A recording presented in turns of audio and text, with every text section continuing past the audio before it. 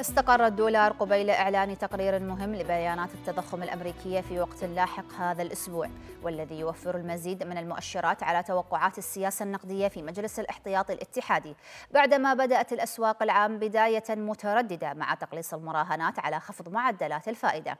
وارتفع الدولار بشكل طفيف أمام العملة اليابانية إلى 1000 و... إلى 144.67 ينا مواصلا مكاسبه من الأسبوع الماضي عندما قفز 62 16% في أفضل أداء أسبوعي له منذ يونيو 2022 وتلقى صعود الدولار دعما من انتعاش العائد على سندات الخزانة الأمريكية بعد أن عدل المتعاملون توقعاتهم لوتيرة وحجم خفض الفائدة هذا العام.